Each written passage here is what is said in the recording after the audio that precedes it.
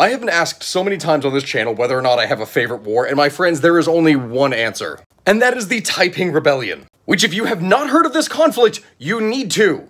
As it was a war that was started by the brother of Jesus Christ. Well, allegedly. Yeah, you got this guy called Hong Zhu who declares that he is actually the brother of Jesus Christ and leads a massive rebellion back in the mid 1800s that kills millions of people in China. We're talking anywhere between 20 to 70 million people, like more people than World War I, and it was a rebellion in China. It's China, so it's always go big or go home when it comes to casualties. But if you want to see the full video on that, there's a link in my comments.